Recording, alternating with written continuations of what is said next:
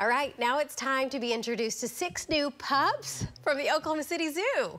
African painted dog Pele, big soccer fan, uh, gave birth to six babies back in November. The species is endangered, and there are only about 5,000 worldwide as of 2020.